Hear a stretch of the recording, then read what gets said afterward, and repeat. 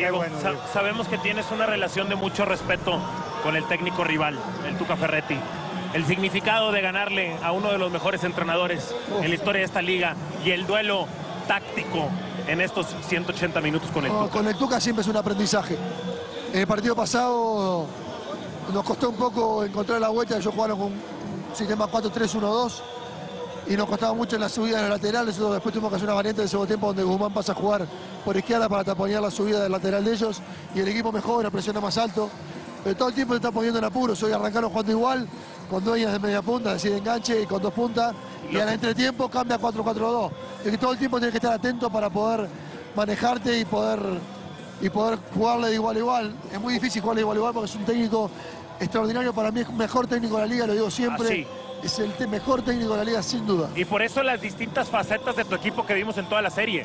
Lo vimos sin el balón, con el balón, contragolpeando, a veces replegándose, siempre evolucionando en los 180 minutos. Exactamente, exactamente. Para jugar este tipo de partidos, sobre todo con el- contra la calidad de los jugadores, porque los jugadores tienen, tienen mucha calidad y la calidad de su entrenador, uno debe saber adaptarse a, a los momentos. Hay partidos son momentos y uno debe saber que a veces que uno tiene que sufrir aprender a sufrir y defender, y otras veces tiene que tratar de disfrutar de- del balón, de sostenerlo, de jugar más arriba, que las posiciones sean más largas, dar respiro, saber cuándo inmediatamente hay que contragolpear.